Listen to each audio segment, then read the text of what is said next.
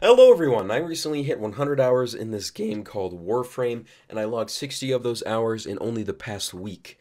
I myself have fallen in love with the game and would like to share my thoughts on why I think Warframe is one of the best games, if not the best game, that I have played in my lifetime. I came across Warframe soon after the developers had announced the Plains of Eidolon update. When I heard that Warframe, a free to play game on Steam which was quite popular and didn't seem to be losing players, was getting an open world section, I immediately downloaded the game. Ever since then, I have never stopped loving Warframe and would like to share why you should give Warframe a shot if you haven't, and why I love the game dearly. I'm making this video from a fairly new player's standpoint, so keep in mind I am not an expert at the game whatsoever. I will link a few experienced Warframe YouTubers in the description in case you want to see more of Warframe and want to learn about things more in depth. So Warframe is a free-to-play third-person shooter in the sci-fi genre and is developed and published by Digital Extremes. You, the player, were once part of an elite military force called the Tenno. These Tenno were masters of the Warframe armor and used Warframes to bring an end to galactic conflict in what is now called the Old War.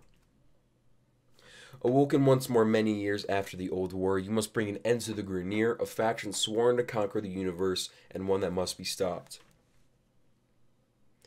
You start out Warframe with one of three starter Warframes, those being Excalibur, Volt, or Mag.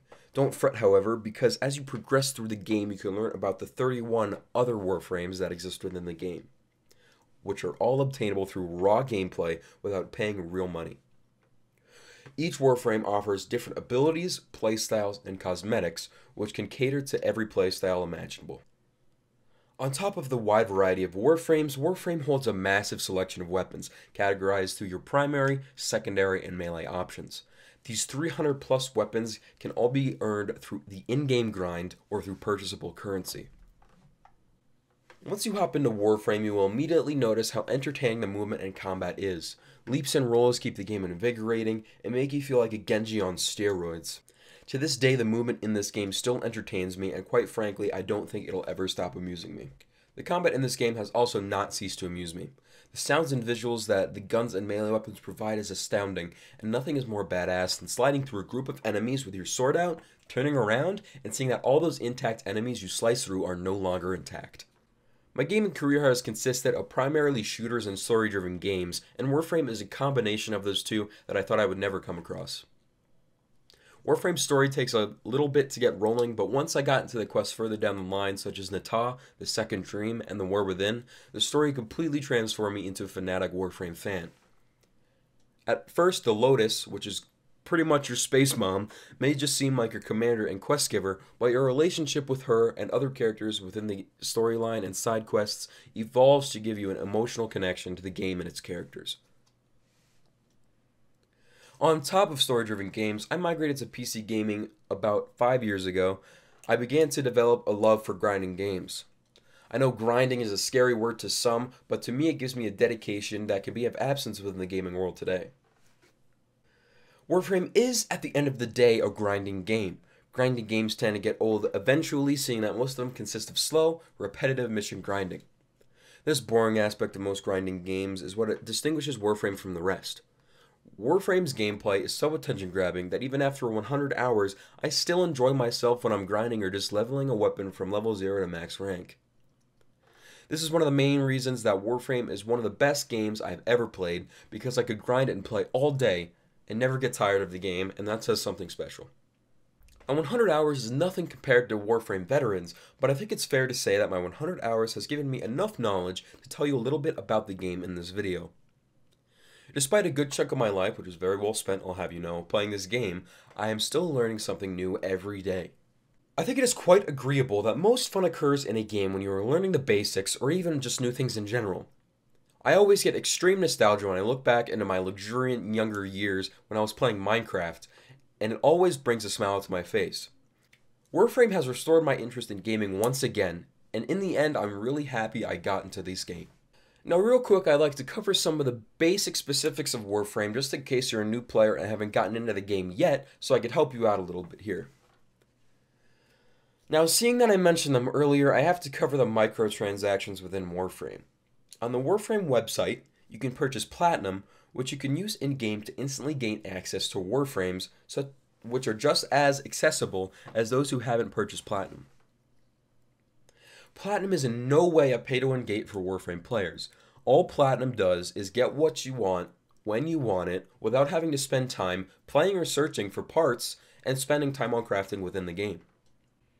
Some in-game aspects require Platinum to unlock, such as Warframe and weapon slots, along with advanced cosmetics. However, with Warframe's awesome in-game trading system, you can grind for an item, such as a rare blueprint or a Warframe, and sell it to someone who is willing to buy it for real Platinum.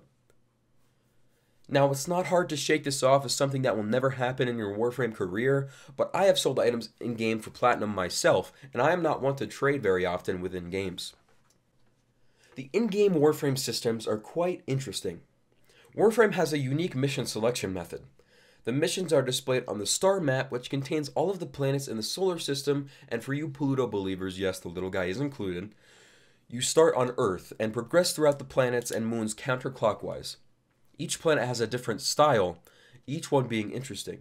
Warframe provides different mission types for players to play, which are Arena, Assassination, Assault, capture, defection, defense, excavation, free roam, salvage, hijack, interception, junction, mobile defense, pursuit, rescue, rush, sabotage, spy, and survival.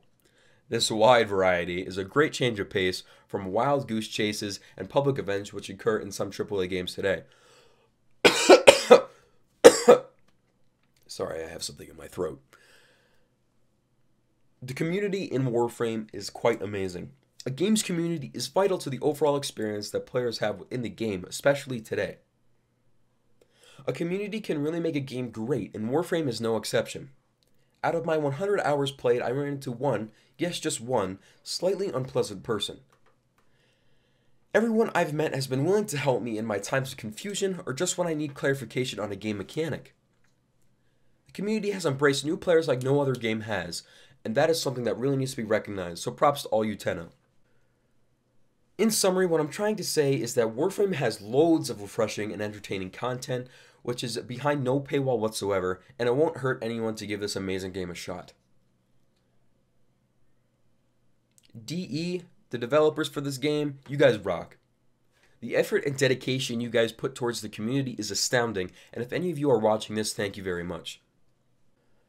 Alright guys, thanks for tuning into my first serious and scripted video. If you have any tips to help me get better at this whole YouTube thing, please let me down down in the comments.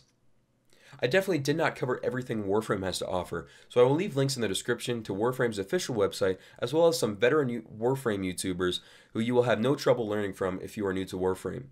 If you can, likes and zero subscription would definitely help me out motivate me to keep creating Warframe content, which is something I would really like to do. See you out in the fight, Tenno.